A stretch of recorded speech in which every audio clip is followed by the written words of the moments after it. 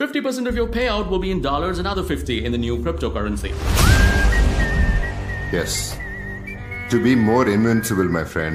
இந்தியாவே வாங்குற இந்தியாவே விற்கிற ஒப்பந்தம் இங்கே கையெழுத்தாகுது இதை விட்டு போட்டு இந்திய அரசியல்னு எதை எதையோ பேசிட்டு இருக்காங்க என்னமோ போங்க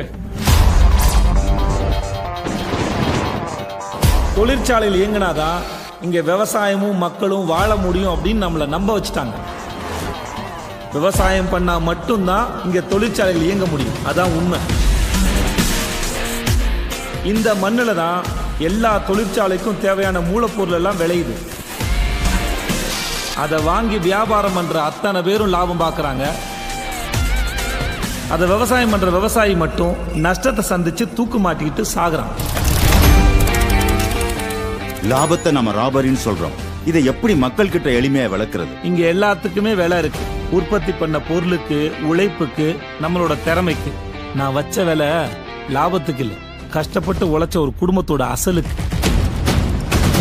இங்க அடிச்சா மும்பைல அடி விழும் மும்பைல அடிச்சா லண்டன் மார்க்கெட்ல அடி விழும் லண்டன்ல அடிச்சா அமெரிக்கால அடி விழும் இங்க உழுற ஒவ்வொரு அடியும் உலகம் ஃபுல்லா உழுற அடி. எல்லாமே சட்டப்படி தான் நடக்குது. பஞ்சால அதிபரும் கரும்பால அதிபரும் உன் மேல ரொம்ப கடுப்பா கோவமா இருக்காங்களே.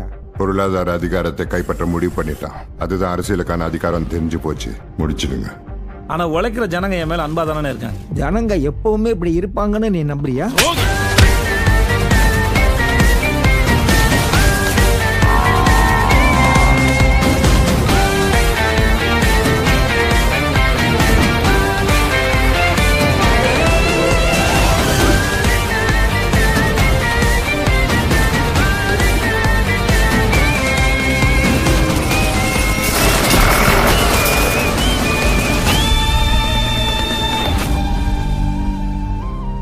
நீங்க Marx Engels Stalin Mao Tse துங்குனன் படிச்சுட்டு புரட்சி புரட்சின்னு கத்துறீங்க.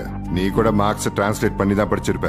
நான் மூலமொழி ஜெர்மன்லயே படிச்சிருக்கேன். முதலாளி இவங்களெல்லாம் புரிஞ்சுக்கிறதுக்கு வெறும் மொழி தெரிஞ்சா மட்டும் பத்தாது. இது வேற.